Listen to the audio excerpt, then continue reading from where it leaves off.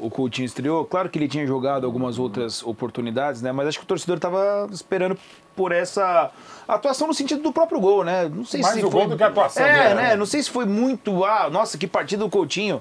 Mas o gol acho que ele até dá uma pela- outra, O outra gol cara, contra né? o Flamengo no final tá Até perdendo o jogo, é um pelo, espetáculo. até pelo cenário, né? Assim, o Vasco, mesmo depois de tomar 1 a 0 o Vasco não teve é, domínio, não teve Nossa, assim. não teve até, reação mesmo. Ali acho que foi, sei lá, com 32 ou 35 que eu cheguei e falei, ó, acho que o- foi o primeiro momento do jogo que o Vasco ficou duas, três jogadas com a bola no campo de ataque. Então o Coutinho nem participou tanto, mas estava lá na hora certa, aproveitando muito bem, se antecipando, fazendo um gol de cabeça, um gol muito importante, um gol que, de novo, deixou o resultado como um sentimento de vitória para o Vasco e você traz o Coutinho ali para confiança, para o que o Vasco tem pela frente. Né? O ano do Paier não é bom, definitivamente não é bom.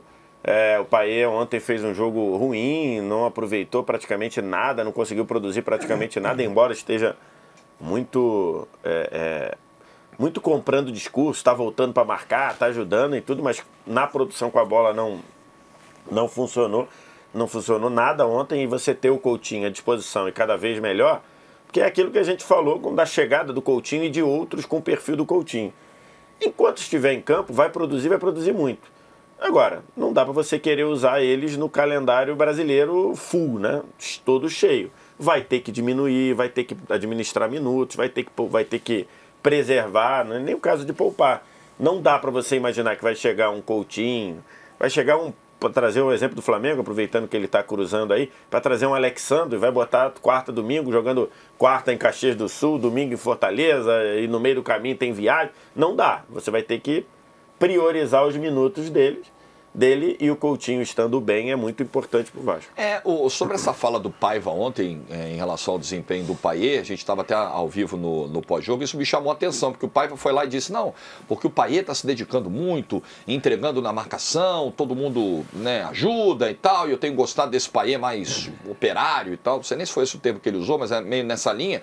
Sim, eu acho que tem dois problemas nessa, nessa fala aí. Olha que eu acho que o Paiva faz um trabalho excelente. Eu gosto de ouvir o Paiva. As coletivas do Paiva geralmente são muito boas. São explicações muito interessantes. Mas assim, primeiro que nem acho que o Paier foi esse cão de guarda todo do clássico.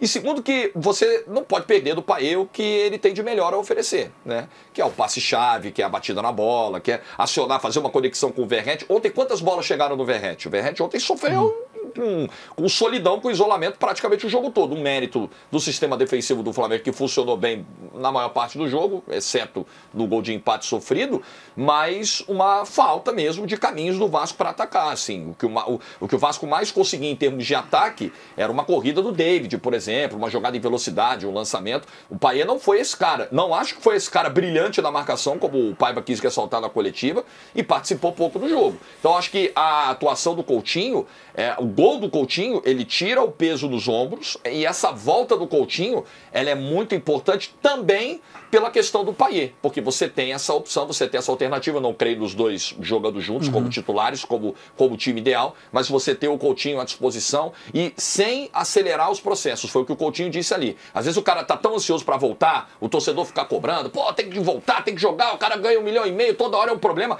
mas aí você antecipa a volta, e aí você ferra o cara de novo e perde ele por mais tempo. Então é uma volta gradativa, jogou 25 minutos ontem, no próximo jogo de repente joga 45, daqui a dois, três jogos joga 80, 90, com calma, o Coutinho tem tudo para ser uma grande opção, até porque eu concordo com o Vitor, o ano do Paier não é no nível do que ele apresentou, por exemplo, no ano passado.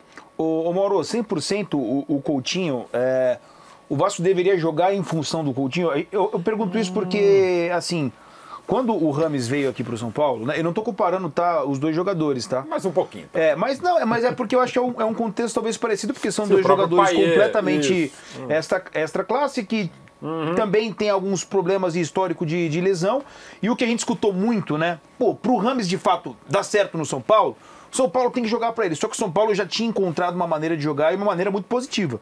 E logo, Hoje- três dias depois, contratou o Lucas. Hoje, também. querendo ou não, o Vasco ele tem uma maneira de jogar e venceram num campeonato de reconstrução muito positivo. Muito. O Vasco, tendo o Coutinho saudável, 100%, deve talvez mudar a sua estratégia? Acho que não, e até porque ele é muito inteligente, qualificado e experiente para se adaptar ao que estiver jogando.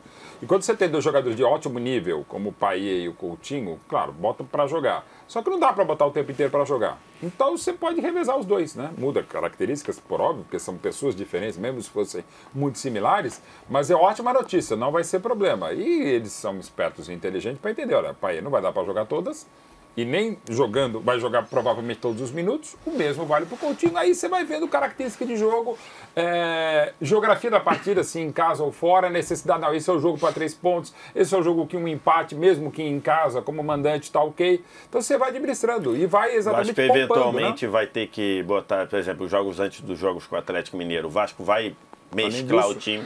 Tem, Né? Porque tá, tá seguro no meio da tabela ali, então E- imagino que ele vai mesclar. que já é natural. E, e, por exemplo, sabe o que está acontecendo com o Real Madrid? É, que é um exemplo. Jogadores esgarçados já início de temporada. É o futebol, e, e esse ano que vai ter o Super Mundial, não é para todo mundo, claro, mas na Se dúvida vai ter tiver, o Real né? Madrid, né? Tá a gente sub- vai tá subindo bem no telhado, hein? Exato. Mas por enquanto, Porque, admitando, porque admitindo o, que o, terá. o, o chamariz era, eram bilhões de, de dólares. Esses bilhões de dólares já não estão chegando. milhões de dólares, É, enfim, então- aqui. Gente, que tal dois vale-refeição e três corote? Tá valendo. Então vamos lá. Mas enfim, então já tá todo mundo desgarçado para início de temporada lá na Europa. Então assim, você vai ter que rodar. E você podendo rodar agora com um Paê, com um Coutinho, e na dúvida, acho que a gente sempre tem que fazer esse tipo de, de consideração, cada um com a sua. Há três anos atrás, se você falasse para o Vasco, olha, o Vasco não vai estar tão legal assim, mas vai estar podendo jogar um dia com um Coutinho, outro dia com um Paier. O quê? O, o Paier? Pô, fecha, não preciso nem saber quem que vai jogar. Minha mãe de zagueira, o Ricardo Martins de opção de jogo aéreo no lugar do Verrete. Quem é o Verrete? Vai ser um maior centroavante do Brasil ou o maior cabeceador no futebol sul-americano. Pô, legal, vamos nós. Então, então para esse momento, tá bom demais. Você, faria alguma mudança, ô VS? Tendo em vista. acho, Porque talvez assim- até na análise que o Jorge fez, né, do, do Paier não tá vivendo uma, uma boa temporada e não tem correspondido, principalmente no jogo E olha ontem. que os números nem são tão ruins. É, né, não, Rafael? não, ruins. mas é são. que a gente espera muito mais de um cara como, claro. como o Paier. Talvez seja também pelo fato do time não ter o jogo centralizado nele, como uma, a grande figura que vai ser protagonista. Talvez hoje essa figura em campo seja o Verrete, né? É, assim, o, tem alguns pontos para analisar assim nessa, nessa matéria. O, o fato do Paiva tá botando esses medalhões no banco e isso dá zero zero problema para ele, né? Porque ontem, por exemplo, o Alex Teixeira ficou no banco, de lá não saiu. No jogo anterior, o Souza e o Alex Teixeira ficaram no banco, de lá não do saíram. Alex Teixeira, cara. É. Então, assim, o fato disso tá, acho que mostra a solidez e mostra a moral que tem o Paiva. Esse é o primeiro ponto. Que para um técnico que até outro dia era interino, é, você mostra que, de fato, ele vive um momento muito bom, o trabalho dele é muito bom. Em relação a isso, o Vasco hoje, ele não joga em função do Paier. O Vasco hoje joga em função do Verrete. E acho que ontem teve um mérito muito grande do, do Flamengo em não deixar essa bola chegar ao Verrete. O Verrete teve uma cabeçada já no 8 do segundo tempo, se eu não me engano. Eu até falei isso com o Jorge na transmissão. E que ele cabeceou e estava todo espetado, cabeceou para fora, todo desequilibrado e tudo. No mais, o Flamengo, e aí, já que você vai perder para o Verrete no alto, talvez a melhor opção seja você impedir os cruzamentos. O Flamengo foi muito bem nisso. O Piton praticamente não foi à frente, porque no lado dele tinha ou Gonzalo Plata ou o Gerson caindo por ali. De novo, o Vasco tomou um gol no lado do Piton, né? A exemplo do que foi contra o Atlético Paranaense. As- todo o perigo do Atlético Paranaense foi do lado do Piton. Então, esse é um ponto, acho que já de atenção.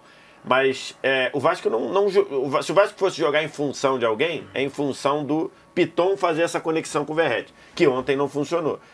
Com o Coutinho voltando, eu acho que naturalmente os jogadores vão procurar o Coutinho. Coutinho estando no time e bem, é natural que os jogadores vão. Não precisa o técnico chegar na preleção e dizer, ó, nossa preleção hoje aqui, o que, que a gente vai fazer? Isso, isso, isso. E atenção, precisa dar a bola no Coutinho. Não precisa fazer isso. Porque naturalmente o cara vai olhar, vai levantar e vai falar, opa, o Coutinho tá ali. Tá bem, tá jogando. Então, é uma coisa natural. Não acho que o Vasco precisa fazer um, um plano para jogar em função do Coutinho. Isso vai acontecer naturalmente, ele estando bem, porque é um jogador diferente, é um jogador com muita qualidade que desequilibra.